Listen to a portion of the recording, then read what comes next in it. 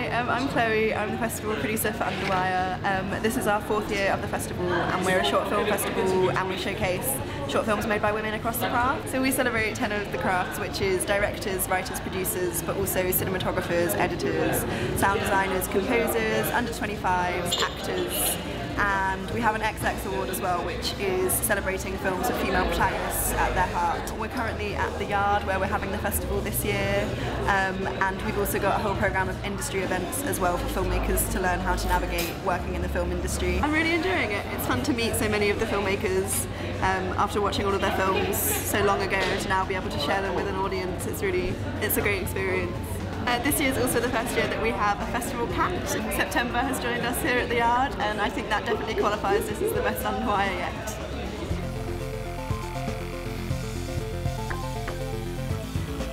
We'll be updating daily so stay tuned for videos from us here down at the Yard um, and hopefully I'll get to see some of you at the festival.